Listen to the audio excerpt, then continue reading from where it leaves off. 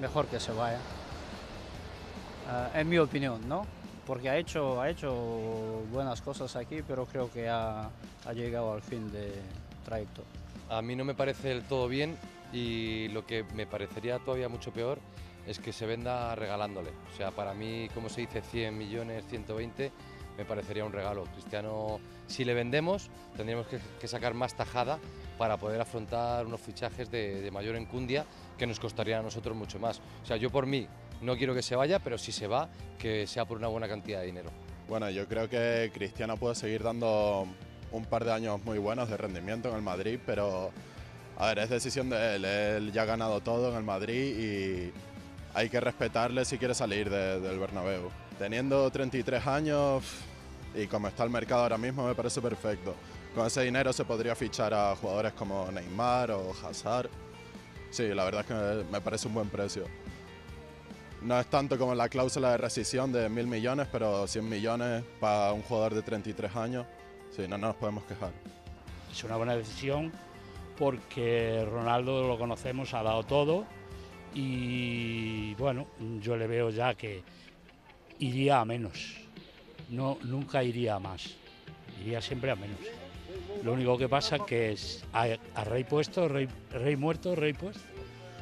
Y lo mismo que se fue Di Stéfano y seguimos ganando copas, pues si se va Ronaldo también tenemos que seguir ganando copas.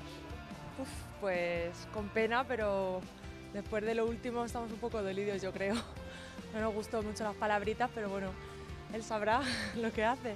Si se va, pues adiós. Hombre, a mí no, a mí me gusta, a mí me gusta cómo ha jugado, lo que ha hecho con el Madrid y, a mí me gusta Ronaldo, lo que pasa que ahí metí un poquito la pata, pero bueno, ya está. Muy bien, muy bien. Es un hombre ya acabado, o sea que está bien venderlo. Lleva nueve años, está quemado, porque no tiene, no, no, le, no, le, no le dan el cariño que él presupone que le tienen que dar. Entonces, se va uno que dice que sí se lo va a dar, que es la Juve, claro. Y le da los 30 millones, que es lo que quiere. Aquí ha dado mucho, pero eh, si, no quiere, si no quiere dar más, lo lógico es que se vaya. El que no quiera, pues oye, aquí se le acoge, al que viene se le acoge con cariño. El que no, pues oye, si no quiere seguir por esto, pues ya sabes. Eso es así. Eso es como en tu trabajo. Si tu jefe no te sube el sueldo, pues tú dices, me voy a otro. ¿O no?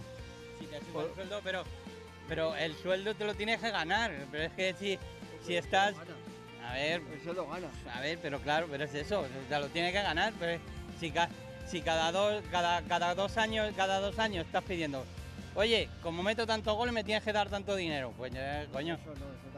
Yo creo que si el jugador está de acuerdo y quiere probar otra, otros lugares donde jugar, y también tal vez ya ha cumplido un ciclo, ha ganado todo con el Real Madrid, y tal vez es momento de que se pueda renovar y traer a un jugador como Mbappé, que sería estrella y seguramente va a ser el mejor jugador del mundo en no menos de un año. Eh, es una cifra un poco baja, pero también hay que considerar la edad que tiene, eh, ya no es un chaval y creo que me parece que está, está bien, está bien.